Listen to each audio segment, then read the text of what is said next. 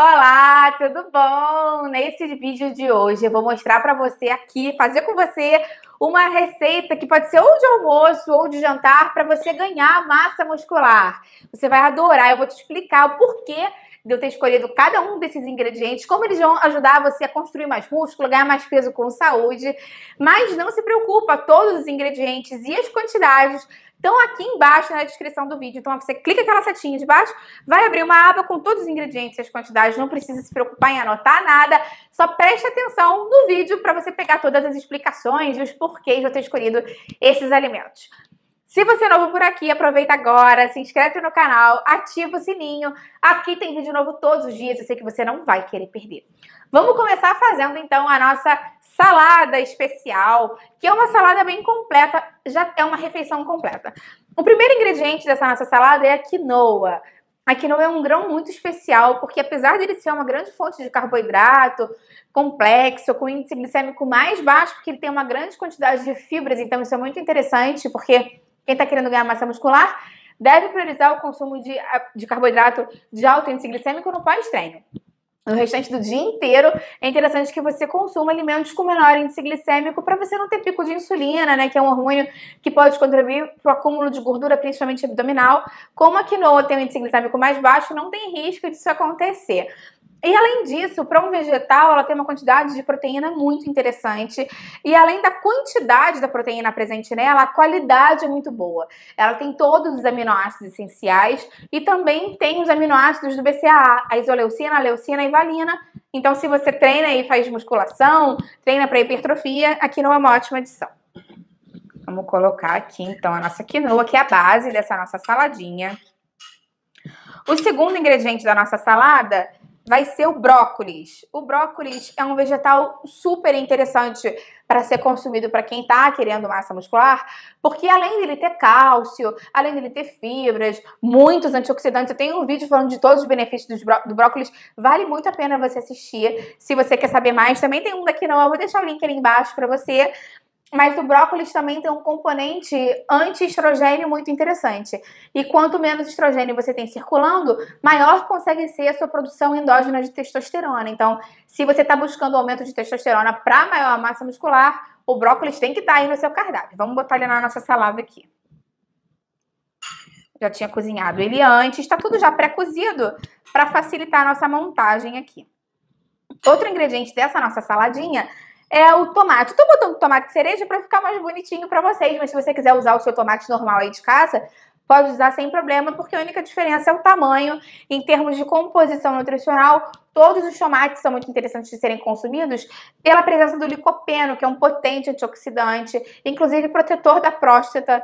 Então é muito interessante de entrar nessa nossa receita também. O licopeno funciona melhor, é mais facilmente absorvido quando a gente tem uma fonte de gordura. E você está vendo que por enquanto não tem nada. Mas aqui tem o nosso atum, que é a nossa fonte de proteína, proteína de alto valor biológica e muito rica em ômega 3, que é o melhor tipo de gordura existente, por ser uma gordura anti-inflamatória, muito interessante para o bom funcionamento do nosso organismo e para as corretas reações metabólicas, inclusive de construção muscular. Então, o atum super faz sentido entrar aqui na nossa receitinha. Vamos botar o atum aqui. Eu tô usando um atum em água e sal, tá? Se você quiser grelhar um pedaço de atum e usar ele desfiado, também funciona super bem aqui.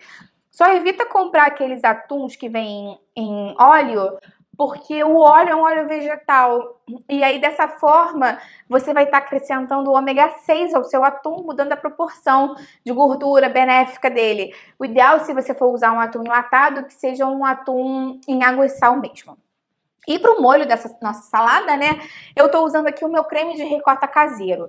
Eu não costumo comprar creme de ricota industrializado porque é muito fácil fazer em casa. Você só vai precisar da ricota mesmo, coloca ela no processador com um pouco de leite. Quanto de leite, Patrícia? Você, normalmente eu vou pingando aos pouquinhos. Eu boto uma colher de sopa, começo a bater, mais uma colher, até formar a consistência que eu quero. Eu tô com a minha colher mais suja aqui, mas só para mostrar para vocês que eu vou misturar aqui mesmo, tá vendo? Virou um creminho mesmo. Esse meu creme de ricota não tem sal, não tem nada. Então eu vou acrescentar aqui, né? Porque, pelo amor de Deus, tem que ter um tempero nessa comida. Um pouco de pimenta do reino. Um pouco de sal, que faz toda a diferença, né? Um tempero. Não precisa exagerar também no sal, tá, gente? e um pouquinho de azeite de oliva, porque eu não coloquei azeite na minha ricota. Tem gente que faz o creme de ricota já com azeite. Eu particularmente não gosto, porque eu prefiro quantificar a quantidade de azeite mesmo que eu coloco para cada preparação, conforme eu for fazendo. Então, eu tô misturando aqui, deixa eu mostrar aqui para vocês. Esse vai ser o molho dessa nossa saladinha. Deixa eu dar uma misturada aqui. E aí eu já jogo aqui para incorporar tudo. E aí é só realmente misturar.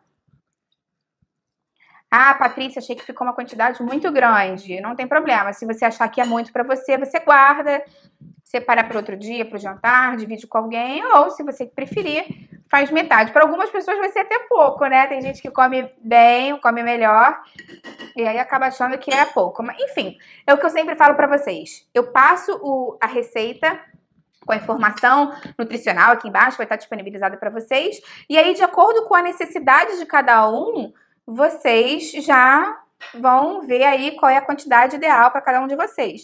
Se vocês acharem que, que é legal comer mais, comer menos, mudar a proporção, colocar mais quinoa se você quer mais carboidrato, aumentar o atum se você quer mais proteína, aumentar os legumes se você quer mais fibra, aí vai particularidades de cada um. Nossa salada ficou assim, me conta. Você vai fazer ela assim em casa? Você vai mudar algum ingrediente? Vai substituir, por exemplo, o brócolis por espinafre, por couve? Ou vai substituir a quinoa, de repente, pelo arroz integral, se você não está tão preocupado porque já tem a proteína do atum? Me conta aqui qual vai ser a sua modificação, se você vai fazer assim mesmo, e deixa sua curtida no vídeo, porque isso me ajuda bastante. E se você é novo por aqui, não perde mais tempo, se inscreve agora no canal, ativa o sininho, aqui tem vídeo novo todos os dias, os benefícios dos alimentos, alimentos para ganhar massa muscular, para engordar com saúde, temos receitas, tem muita coisa legal no nosso canal, você não vai querer perder. Até a próxima, tchau, tchau!